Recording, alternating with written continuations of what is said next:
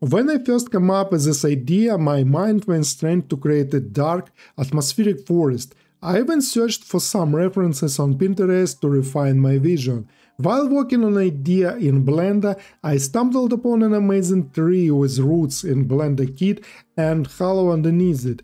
It seems like a great start point for this concept. Let's imagine a large tree as an atmospheric entrance to a cave in the forest. My goal is to create a concept and today you will witness how I do it when I started working on an idea. I haven't decided yet what the end concept using Blender will be, but you may have already seen a cover on this video and have an idea what I will create. I'm recording this video immediately during the conceptualization process because the idea can be fleeting and uh, it's important to capture them quickly before they slip away. So this is going to be the main object in the scene and so I'm going to put the camera closer to the tree. Uh, let it be 35 focal length camera. I love 35 focal length uh, for landscape concept. Next, I think it should be fairly dense forest uh, with large trees to create such a dark atmosphere. I will arrange them like this and uh, let's immediately make a foreground to understand the composition. It could be a passage in the forest to this cave in a tree, so I can pretty roughly do terrain somehow like this. Since this is a concept, I can do everything quickly without the details that will add later.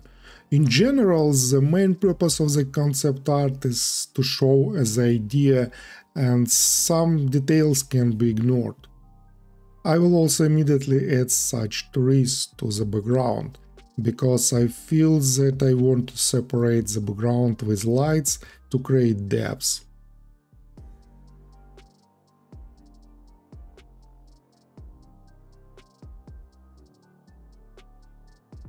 But it has to be dark atmospheric, so I'm going to make everything black.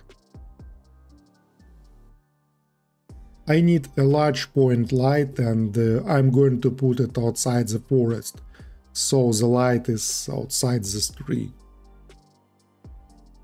Next I need to add volume, I will just make it only a little bit larger. And uh, I want to this cube already has a volume scatter material, but I remove this material because I'm going to use a principled volume instead. This one has more settings. So now it's okay. I would change the color to something more mystical. Okay, let's leave it that way for now. Next I need to highlight the entrance of the cave in the tree. I have my texture light collection for the blender. Uh, here is what I can use, namely this light, such uh, an effect of the light through the branches in the forest, uh, what I need here. I will arrange it to emphasize attention on the entrance as if light were breaking through the density forest in the single place. I can also make it a little softer so that there are no such sharp shadow. There we go.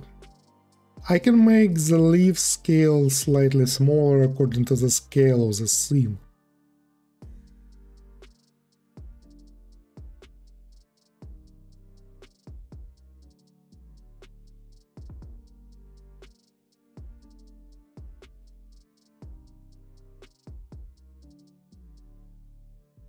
And uh, let's make the light colder, like uh, it's the moon shining. I don't know, just want cold light here. I think it's not very important for now, it's a concept and uh, I have to do experiments. Yeah, I also want to add some light in the depths of this cave, as if something is happening there. Yet this is the center of the plot and this is where we can direct the viewer's gaze.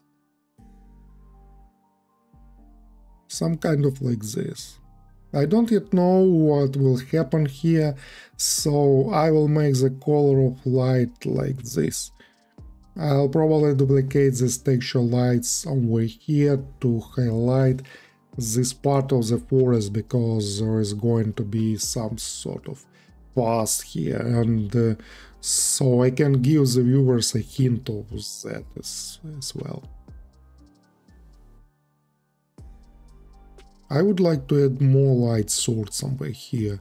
It will be warm color, like a fire or lanterns is burning somewhere here. Uh, by the way, here I can make a bonfire. I have somewhere a suitable model with Kitbash 3D. It seems that some medieval collection, uh, but I don't remember exactly. Uh, so this model. Some guys can sit here. Good, bad. Although the good guy probably do not sit in such a forest. What I want to add now about environment.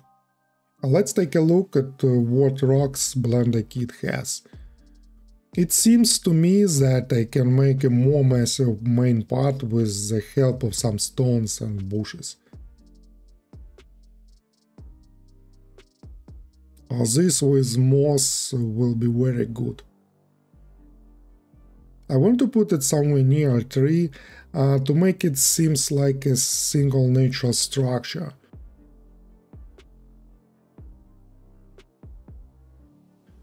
And uh, let's immediately add some other bushes.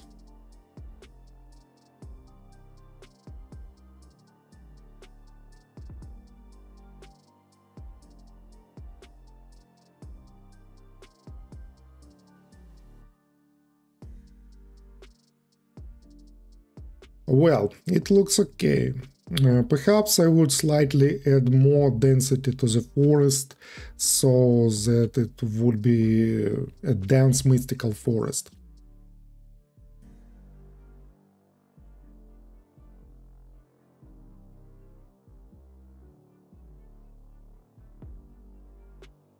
So, I want to sculpt the foreground terrain. I love Blender that there is such an opportunity to do everything in one program. I have to do a sculpting, I just go into the sculpting mode and sculpt the landscape. Blender is generally a unique program that contains everything necessary for creativity and uh, is available out of the box. I would even say that is the main reason I moved into Blender after 15 years of work in 3ds Max because it just has more functionality. Now this is what I need to work for creative project, available in Blender even without installing additional plugins as happened in 3ds Max. Well, let's add some texture for the ground. I have such forest uh, ground texture that I think uh, I will not pick up for a long time because this concept, uh, this will fit. Let's go to preview to see how this works in this particular surface. Perhaps I will change the scale and uh, find the more attractive position of the texture. Uh, yes, I need enable displacement in this material settings, uh, so it's uh, so it's too much now. Uh, let's reduce scale to 0 0.1 and uh, I need to add more subdivision surface.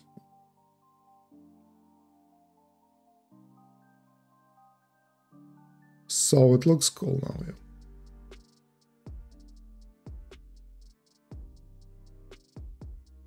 To make it look like a forest, let's add some grass. Move this grass to a new collection because I'm going to use G-Scatter a free blender scatter add-on and uh, add a default scatter system and select this grass collection. Let's increase the density.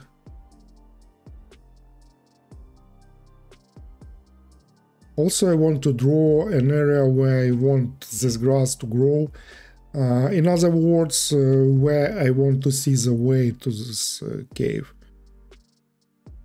I want to use this uh, white paint mask uh, for distribution in GScatter and also for scale.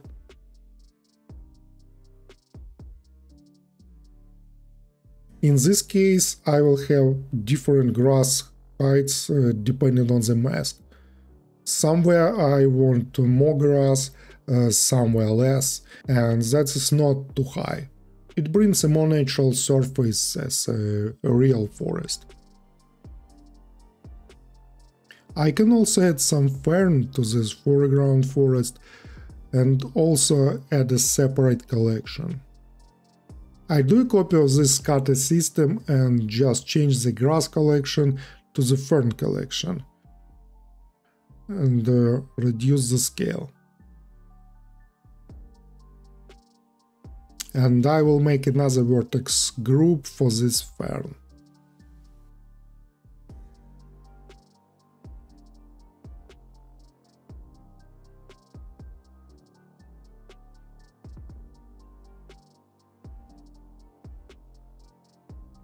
So it looks amazing and I think I need to add some details. Maybe this place is hiding some robbers or something else, I don't know. Uh, let's find some card in Blender Kit. I think it's appropriate, maybe they bought something to hide in cave. This one will do, yeah. Uh, by the way, now it seems too big. Since I use the main tree in a slightly different scale, uh, then all object must scaled in accordance with this. If I add a human model to check the scale, we see that everything is quite small in relation to this real model. Accordingly, I can increase everything to a real scale Always reduce in this case to this tree, so that visually a person fits there. Control the scale because a quite often artist makes annoying mistakes in global scale when they work in on some unrealistic sizes.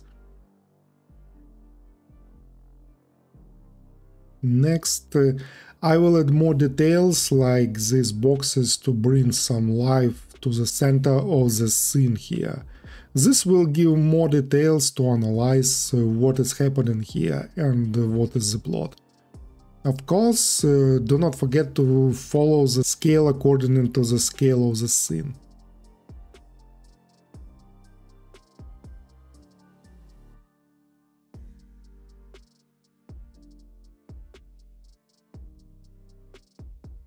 I want to further emphasize this direction into the depths of the cave. I will place barrels here and uh, let's add some lanterns on them. This will give more understanding that uh, there is a passage there and something can happen there. Alright, finally I think I add some character. The main character in the scene. I'll add a plane and uh, I have a such brutal man I found on Envato Elements, but I have to make the alpha channel to use this in a 3D scene in Blender.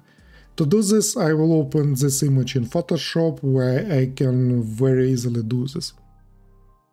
This requires the latest version of Photoshop, it's here that there is such a taskbar, which can also be found Window Context Taskbar. As you noticed here is remove background. I press on it and get an object without backgrounds.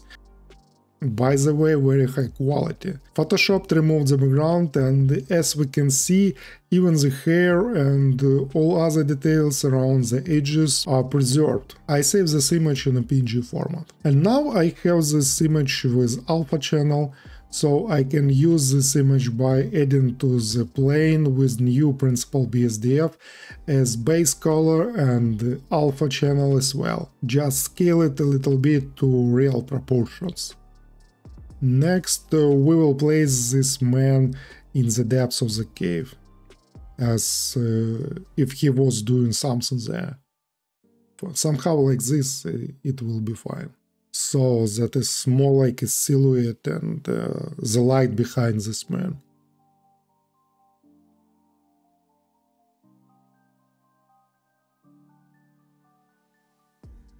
And finally, I want to do a little overpaint, especially of this man. Since we added this in the plan, the light is not reflected on it as on the other object in the scene, so I draw this light in Photoshop using a mask for this. And also a little post-production in Camera Raw.